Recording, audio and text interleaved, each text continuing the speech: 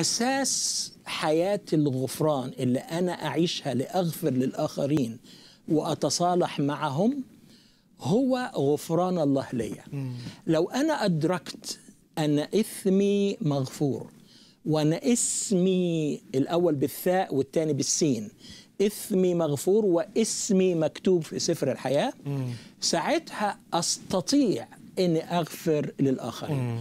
ومغفرتي للآخرين لا يعني إن أنا أنسى وأحط تحت السجادة لو في عندي غضب أو شكاية. لا لابد أنه بكل محبة وافتح الغفران للآخرين بالنسبة للمضطهدين لو عند واحد اجتاز في تجارب مريرة لابد أن يغفر لكل من يسيء إليه. حتى دول مش مؤمنين.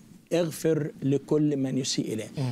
إحنا في امكانياتنا ما نقدرش لكن هو الرب وحده.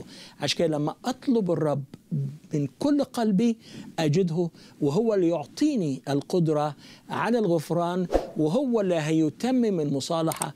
طالما أنا تصالحت معه فأنا أستطيع بكل سهولة أن أتصالح مع الآخرين ومع المجتمع ومع الثقافة ومع كل من حولي.